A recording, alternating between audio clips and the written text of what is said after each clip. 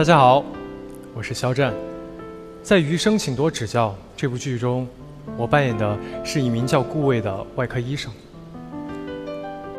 顾魏，就像我想象中的医生一样，对待本职工作，永远认真负责，追求完美；对待患者和家属，永远保持着关怀。他身上有许多职业的、人格的闪光点，都是我十分欣赏、敬佩的品质。我还记得，一开始拿到剧本的时候，一口气读完，在了解到顾魏这个角色的时候那一番兴奋。我更记得，最终促使我去挑战这个角色的动因。要是我说不紧张，是假的。对医生这个职业的敬畏，对自己当时专业能力的不自信，都让我无数次的问自己：肖战，你能行吗？你真的能够走进顾魏的内心世界吗？诚然，顾魏是真实的，他有着自己化不开的执念和苦恼，像很多人一样。他在意可能的失败，畏惧尝试。他又过度的包裹住了自己，就像一个壳，会伤害自己，也可能会伤到他人。这个角色的复杂和其中的破绽，深深的吸引着我，也打动了我，让我觉得我能够理解他，也让我情不自禁的想和他对话。和交流。二零一五年，我跨行进入了演艺圈。后来，很幸运，成为了一名演员。每当我进入一个角色，我都能体会到一种我所不曾经历的人生，沉浸在他们的喜、怒、哀乐里，同所有创作人员一起，为每一个角色注入生命力。到现在，我都觉得这是我最大的幸运。当然，我也曾经有过极度不自信的状态。我不知道怎么在镜头面前很自如的表达，我拿不准怎么更好的去塑造一个角色，很挫败。下了戏之后。我会躺在床上，呆呆的望着天花板。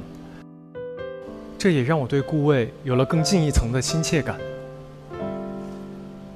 我还记得《余生》里面有一场戏是这样的：下了手术台的顾魏没有办法很坦然地接受别人的赞美，他一个人跑到卫生间，情绪失控地看自己惊恐的脸。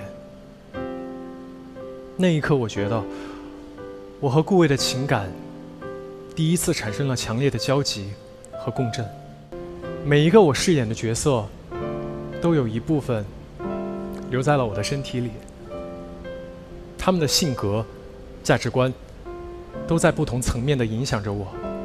从盛夏到深秋，我真的觉得这是我人生中非常重要的一段时光。雨声打动我的，除了顾魏的敬业，还有顾魏和林志孝之间的情感，更是顾魏的人物弧光，以及他面对人生态度的转变和成长。千帆过尽，顾魏仍保有自己立志成为一名医生时的初心。他仍然善良、天真、纯粹。当他走出自己的小世界，坦然的接受不同的声音，也让他成为了一个更好的人。他把自己用来抵御世界的盾牌，变成了一把温柔的保护伞，与自我和解，过好了他的生活。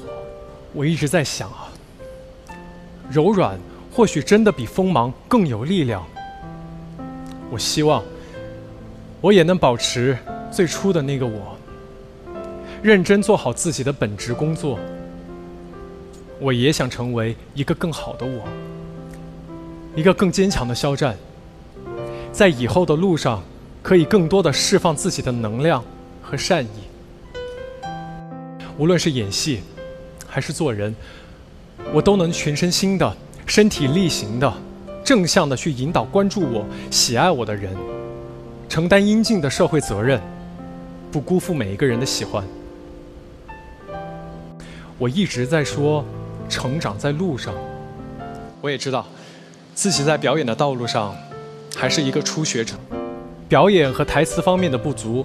也请大家在看剧后多多的批评指教。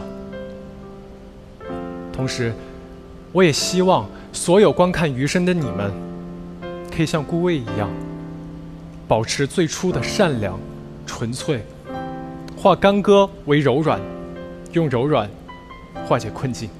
也希望大家可以好好的生活，认真工作、学习，实现属于自己的精彩。谢谢你们每一个人，谢谢。